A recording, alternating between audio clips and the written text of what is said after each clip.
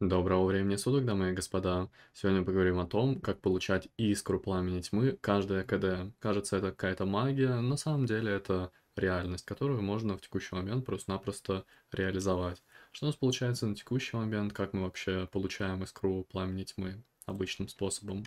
Мы летим в пещеру Заролек, и в пещере Заролек нам нужно взять квест, в результате которого требуется получить полторы тысячи репутаций с ламскими нифами. Путем локалок, события в центре, а, путем использования баджиков различных, то есть много-много разных способов. Набрали полторы тысячи репутации, получили расщепленную искру пламени тьмы, то есть, грубо говоря, половинку искры пламени тьмы. Окей, ну то есть получается, что на текущий момент, используя только квест, мы вылутываем искру раз в две недели, а я утверждаю то, что можно вылутывать искру каждую неделю. Обратимся к великому хранилищу. В тот момент, когда мы берем лут в среду, у нас же выбор имеется. Либо мы берем шмотку, либо мы берем 6 монеток.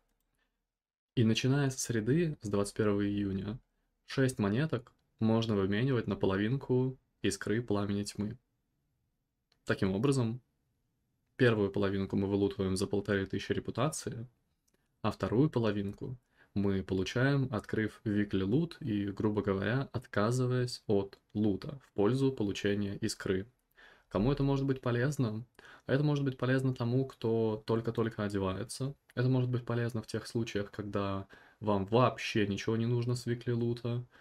Возможно, вы хотите накрафтить себе каких-то PvP вещичек, свичнуться с PvE в PvP, быть может там это котируется. В целом масса плюшек. На что можно потратить искру пламени? А искру пламени тьмы можно потратить на крафт 447 шматья. Сделаю с помощью ваших анлок всех реагентов. Что у нас получается? К примеру, какой-нибудь нагрудник. Мы ставим искру пламени тьмы, мы кидаем зачарованный гребень аспекта, и все. У нас готовая 447 вещица. В целом-то это все круто, и получение искры пламени тьмы каждую неделю, я уверен, ускорит чье-то одевание. На этом все.